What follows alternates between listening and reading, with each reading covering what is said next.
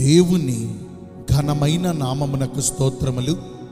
ఈ వాగ్దానమును వింటున్న మీకందరికీ మన ప్రభువును ప్రియ రక్షకుడైన యేసుక్రీస్తు నామములో శుభములు మా హృదయపూర్వకమైన వందనములు. ఈరోజు మీ కొరకైన దేవుని వాగ్దానము యోబు గ్రంథము ఎనిమిదవ అధ్యాయము ఏడవ వచనము. అప్పుడు నీ స్థితి మొదట కొద్దిగా ఉండినను తుదను నీవు మహాభివృద్ధి పొందుదువు. ఈ వాగ్దానమును మంచి దేవుడైన యేసయ్య నేడు మనందరి జీవితములలో నెరవేర్చునుగాక. ఆమెన్.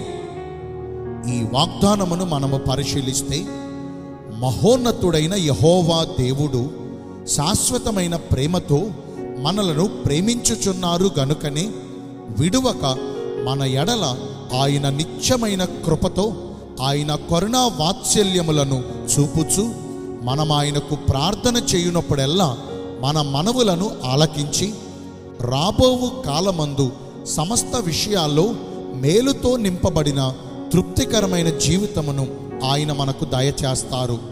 సర్వోన్నతుడకు దేవుడును ఇస్రాయేలునకు కాపరియగు పరిశుద్ధ దేవుడైన యహోవా నేడు మన మొర్ర ఆలకించి మనకు తోడుగా మన చెంతను నిలిచి గతించిన కాలములోనూ అలాగే ప్రస్తుతమున్న కాలములోనూ మనము అనుభవించుచున్న సమస్త విధములైన బాధలలో నుంచి మనకున్న కొరతల నుంచి ఈ లోటు నుంచి మనలను విడిపించి మన రోదన ధ్వనిని మాన్పి మన కన్నీటిని తుడిచివేసి చెదిరిపోయిన మన పరిస్థితులన్నిటినీ తిరిగి మరలా సమకూర్చి మనము కోల్పోయిన వాటన్నిటినీ తిరిగి మరల మనకు దయచేసి మనలను విస్తరింపజేసి మనలను హెచ్చించి ఇక రాబోవు కాలమునందు మన పరిస్థితులన్నిటినీ మన స్థితిగతులన్నిటినీ మార్చి మనలను ఆశీర్వదించి ఇప్పుడు కొంచెముగా ఉన్న మన పరిస్థితులను మహాభివృద్ధి పొందినట్లుగా దీవిస్తారు.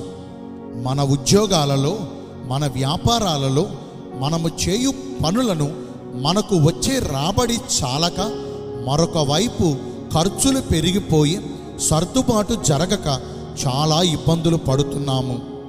అయితే మన దేవుడు మన రాబడిని ఆశీర్వదించి రాబోవు దినములలో మనకు సమృద్ధినిచ్చి మనలను సంతృప్తి పరచి మిగుల ఆశీర్వాదపు అనుభవములోనికి ఆయన మనలను నడిపిస్తారు. మంచి దేవుడు ఈ మంచి వాగ్దానమును నేడు మనందరి జీవితాలలో సఫలపరచాలంటే మొదటిగా దేవునికి అన్ని విషయాల్లో నమ్మకముగా ఉండాలి. మనము కొంచెములో నమ్మకముగా ఉంటే ఆయన మనలను ఆశీర్వదించి అనేకమైన వాటిపైన అధికారులుగా చేస్తారు. మనము చేసుకున్న మొక్కుబడులు చెల్లించు విషయములో నమ్మకముగా ఉండాలి.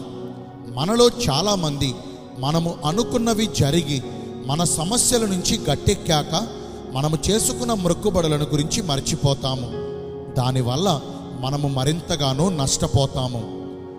దేవునికి ప్రతి నెల మన రాబడి అంతటిలో నమ్మకముగా దేవుని భాగమును అనగా పదియవ భాగమును దేవుని ప్రతినిధులుగా ఉన్న మన సంఘ కాపరులకు ఇవ్వాలి.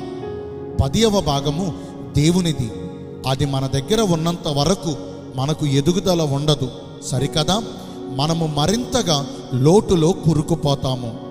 కృతజ్ఞతార్పణలు చెల్లించు విషయములో నమ్మకముగా ఉండాలి. మన కొరకు సమస్తమును దయచేస్తూ నేడు మనము ఈ స్థితిలో ఉండుటకు ఆయన కృపయే కారణము గదా.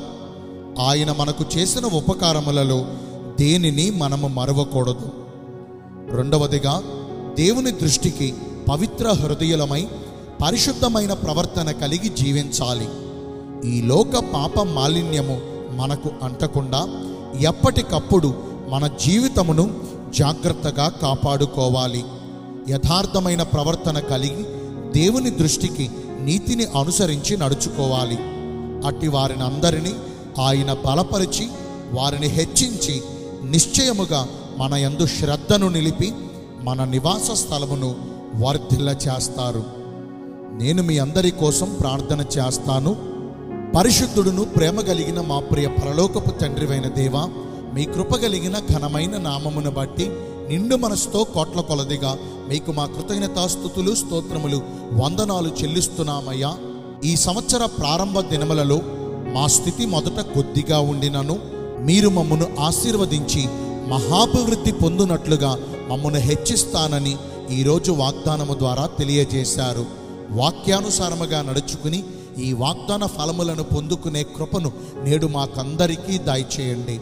ఈరోజు ఎందరైతే పుట్టిన రోజులను వివాహ దినములను ఇతరమైన శుభకార్యములను జరిగించుకుంటున్నారో వారందరికీ మెండైన దీవెనలు కుమ్మరించమని మీ రాకడ కొరకు మమ్మను సిద్ధపరచమని యేసుక్రీస్తు ప్రశస్త నామమున ప్రార్థించి వేడుకొనుచున్నాను. మా ప్రియ పరలోకపు తండ్రి amen. May God bless you all thank you